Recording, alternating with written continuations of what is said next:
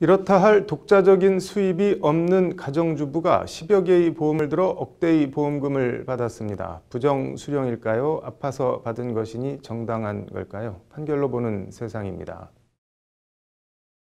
택시기사를 남편으로 두고 있는 이모 씨는 지난 2005년 2월부터 2011년 3월 사이 11건의 각기 다른 보험 계약을 체결했다고 합니다.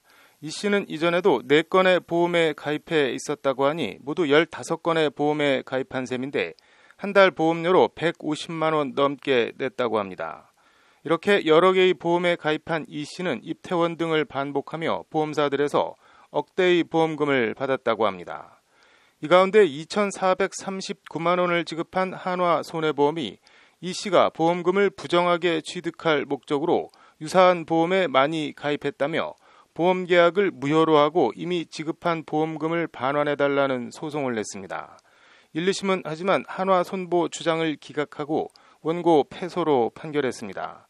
이 씨가 가입한 보험은 연금보험, 암보험, 보장성 보험 등 각 보험 계약마다 보장 내용에 차이가 있으므로 이번 일당 지급과 같이 일부 보장 내용이 중복된다는 점만으로 부정한 목적이 있다고 인정하기 어렵다는 게 1, 2심 재판부 판단입니다. 대법원은 하지만 한화 손보 손을 들어줘 원고 패소 원심 판결을 깨고 사건을 창원지법으로 돌려보냈다고 오늘 밝혔습니다. 이 씨의 재산 상태, 보험 계약 체결 전후 상황 등을 종합해 보면 이 씨가 체결한 보험 계약이 순수하게 생명, 신체 등에 대한 우연한 위험에 대비하기 위한 것이라고 볼 수 없다. 보험금을 부정하게 취득할 목적으로 체결한 것으로 볼 여지가 충분하다는 것이 대법원 판단입니다. 대법원 판결은 이 씨가 단순히 가입한 보험이 많다고 보험금 부정 수령이라고 판결한 게 아니라 입원 병명과 치료 내역, 입원 횟수와 기간 등을 종합적으로 판단해 내린 판결입니다.